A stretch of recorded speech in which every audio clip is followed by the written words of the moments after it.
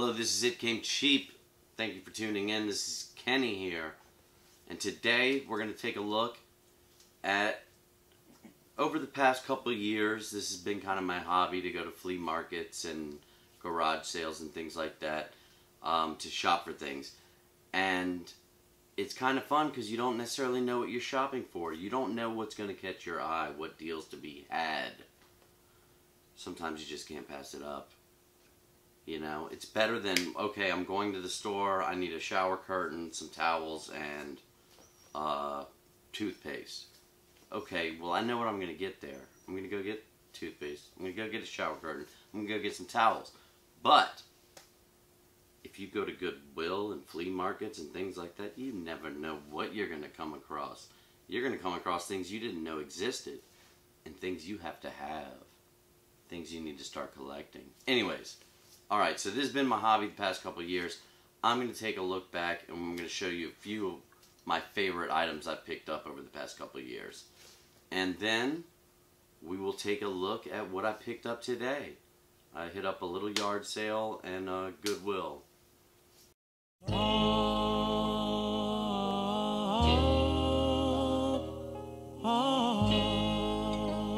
So let's take a look. Thank you.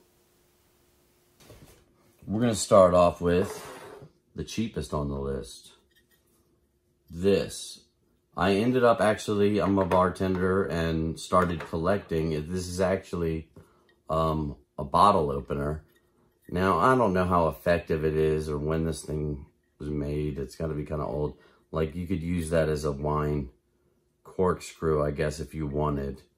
Um, but I don't know how efficient and effective this would be as a corkscrew slash bottle opener. But I found this at a yard sale for one quarter. And that's just one of the, that's one of my favorite things. I got this a couple years ago and this pig's ass, I mean, pig's ass bottle opener. Just for a quarter, that's an interesting conversation for years to come. Pig's ass bottle opener corkscrew. Yep, that's one of my favorites. Spotted this first and threw it out there. Picked this Freddy Krueger finger puppet.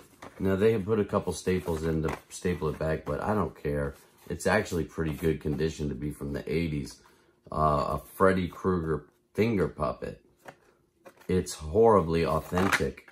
Um, that was one of my scary movies that I enjoyed as a kid. It's uh, iconic, Freddy Krueger. You know, I didn't know what I was going to find that day. I found a Freddy Krueger finger puppet. It's awesome. Now, you can probably find this on eBay. You can go to eBay and probably pick one of these up and you're not going to spend a fortune. But, you got to admit it's pretty freaking cool. Freddy Krueger finger puppet we've got a little Mozart, little Wolfgang Amadeus, uh, like action figure guy. Had four dollars on it. I don't know. It was at a yard sale. I gave her a dollar for it. Beautiful woman, had six beautiful children. Also loved cats. I mean, they tell you some pretty useless stuff about it. And then look, we've got little Ludwig, Beethoven, little Wolfgang, little Johann, and little Frederic. But luck would have it. This day, they knew I was a Mozart fan. All right, so you gotta love it. We got a little Freddy on. This was only a buck at dirt cheap. It's kind of neat. It reminds me of something like that would be in a low budget movie that would try to show you the future. But you press the little thing and you've got the Knight Rider type time there. You know, it's like it wishes it was futuristic, but it's kind of just cheap. But you know what? I'm going to rock this. You want to know what time it is? It's the future. Don't know why, but that I, I like that watch. So far, $2, $3. So far, these favorite items cost me $3.25. All right, next up. Now these, as much as I like them, they are in great condition. I'm trading my buddy Johnny, and I got to show you some of the stuff Johnny finds. I have to show you some of the stuff Johnny finds. We're going to show you. He, he's a good friend of mine, and I'm trading him these because I know he liked them. Uh, picked these up at Goodwill. It was a set. They and you're like, what? What is this thing? I don't know, but it's okay. We got this set. We got both of them here. It is like a walkie-talkie set that looks freaking brand spanking new. All the uh, accessories are there. Now, I looked these up on eBay. You could actually find them kind of, I mean, it wasn't incredibly hard. Maybe not in this condition, because these are in great condition for being as old as they are. But you've got a set of old transistor walkie-talkie dealies. I mean, that's just, like, it's retro, but it almost looks kind of futuristic. I don't know. That's killer. I just like the fact that it's in this good of condition after being that old. It's older than me. You know, these are cool. Somebody donated these, and it made my day. We got some walkie-talkies. Yes. We're definitely going to go check out Johnny's uh, setup and some of Johnny's things because he's a bargain hunter as well and he likes to find some interesting things. Uh, he's a friend of mine. Shout out to Johnny. Always looking out. It was at some sort of church yard sale. There's like different families involved. Um, you know, someone took time to to put this thing together. It's like handmade. Um, so hey, if someone spent all that time making this thing, it's it's definitely worth a dollar. Don't you think? Even if I'm not sure what it is. We're gonna let gonna let you try to take a look here. Now something is gonna go in this jar and it looks like it might dispense down here. Now you pull that out and there's a little hole there. So I mean, what can you you tell me, what is this thing? Is it an M&M dispenser? You can put some peanuts in it or something. You can put peanuts in it. Or I was thinking gumballs maybe. Gumballs, you don't even have to pay a penny. You just pull it out and there's a little gumball machine that somebody kind of made. You know? I thought it was clever. Never really knew this existed or had seen something like this. And when you find it for a dollar, by golly, you jump at that opportunity. Just handmade, interesting piece. Think about all the interesting conversations we can have about this piece, all the little gumballs or peanuts we could share. I've never tried to fill it up or use it, but that's one of my favorite items. Alright, finally, we got two more. Now, it's hard to pick a favorite. It's very hard to pick a favorite, especially because this next one is so freaking awesome. You may have seen it in the background. You may have seen it in the background, but we have an in the box Pee Wee Herman doll. Let's check him out. He talks.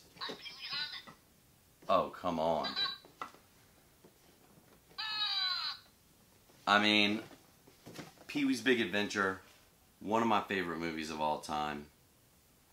Uh, Big Top Pee-wee, not so good. Pee-wee's Playhouse, pretty good. You got Pee-wee's Playhouse um, characters on the box here. So it was just neat. I remember seeing this um, on Facebook or something when I was looking at the garage sale. I was like, I got to get out there. And it was only 20 bucks. Now this version actually is kind of a replica or a remake. This one came out in 2001. There's actually an older one that came out with a pull string from 1987. But they basically look the same and, you know, I don't much care the difference. But how can you top Pee Wee? How can you big top Pee Wee? I mean, we're talking Pee Wee. We're talking Pee Wee.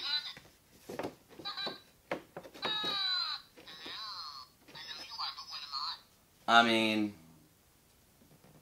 huh. This was a dream find. I had to have it. So what could top Pee-wee? There's one other thing, and you may have seen it. I'm going to make him my sidekick, but I didn't know this existed. Back in the day, in the 80s, they had this doll called Teddy Ruxpin. It was a bear that you could stick cassette tapes in, and it would kind of sing along.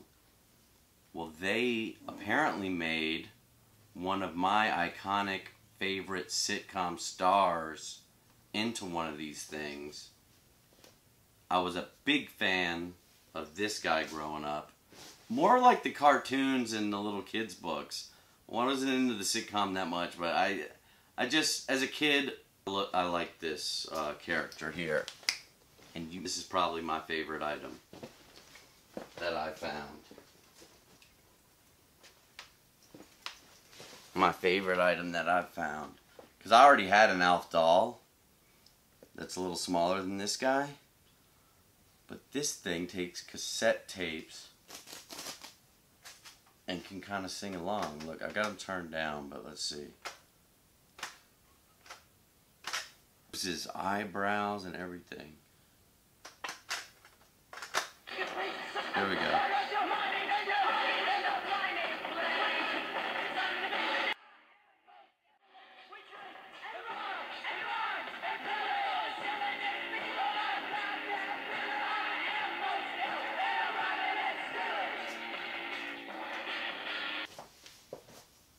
Alright, so those were a few, you know, just a few of my favorite items I've gathered over the past couple of years. A couple of my greatest hits. Hope you enjoyed them. Now, let's cut to the present and see what we picked up today. I hit up a yard sale in Goodwill. Uh, just picked up a few things. To um, this flea market that I frequent near my house. And this woman literally was like, okay, you might be interested in this. So, I don't know. There's a big old stack of them here. But I'm going to just fill this up with some DVDs. You know, this cost me nothing. It was dug out of the trash. This was three bucks. Why not have a little library? All right. These I got um, a few weeks back. This case here. This case I picked up today.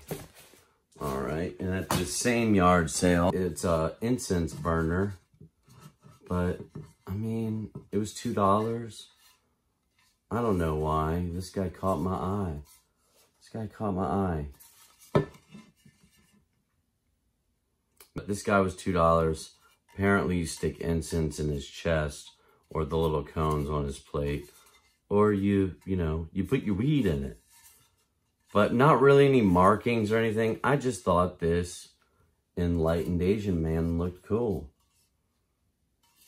I hope you do too. All right, so they got that at the yard sale for two bucks. And then finally, hey, if the movie's pretty good, $2, I mean, $2. Used to rent movies that cost more than that. Well, this is a classic, and tis the season. We've got the Muppet Christmas Carol Disney movie classic. So we picked that up for a couple bucks. All right. So that was the yard sale. Then a little later in the day, I ended up going to Goodwill. I also found, and this was separate than these other little kids gloves they had in there, and I think they were asking more for those. But to me, this looks fairly clean and good shape. You could oil it up a little. But this was five bucks. Um, and the thing is, it's for a lefty. And I'm a lefty. Maybe that's why it was a little cheaper, but but, you know, my grandpa was a ball player. I don't know when there's going to be a pickup game of softball. I don't know when I'm going to start the fall league of softball. But I figure I better have a glove. But yeah, I used to play baseball as a kid. doesn't hurt to have. I think this might be like a first baseman's glove, but I like it. And I'm a lefty. Interesting side note, I actually played my first few years of Little League, two or three years of Little League, where, because every, you know, they just gave me a glove and I put it on the hand that it was supposed to go on, and I threw right-handed. Even though it was a little uncomfortable, I could do it. I could get by. It wasn't horrible throwing right-handed. But one day I'm out playing catch with my dad um, after playing a couple seasons Little League, and I'm like, you know what, Dad? It it's almost a little more comfortable if I throw with this arm. And so, after throwing the ball just a couple times, he's like, "Oh yeah, yeah, you're you're left-handed. You need to throw with your left hand." Um, I'm just a dummy, and it took me a couple years to figure it out. But there's a little adjustment. I still bat right-handed. I'm a little ambidextrous. I'll swing right-handed. I throw a frisbee right-handed, but I would bowl and kick left-footed, left-handed. Uh, I'm all over the map. Baseball glove, five bucks. It's a Wilson. And finally, right, finally I ended up picking up this guy because it was new. There was tags in it.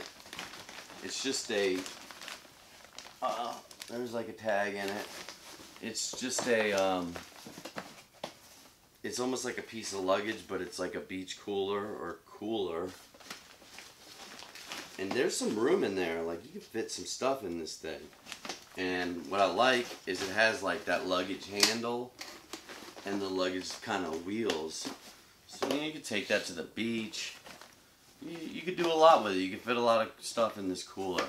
And uh, it was nine bucks. So finally that's what we got at Goodwill. That's what caught my eye. I might give it to my dad because I feel like I've stolen a cooler or two of his that were maybe not as cool as this one. But, alright. Thank you for tuning in. Thank you for tuning in, checking out the deals of the day and the deals of years past. I appreciate you watching. Um, please subscribe to the channel, share it with a friend or something because, you know, I'd like to grow a little bit. Um, but that's going to do it for today. Thank you for watching. Until next time, will you find the awesome deals that I find?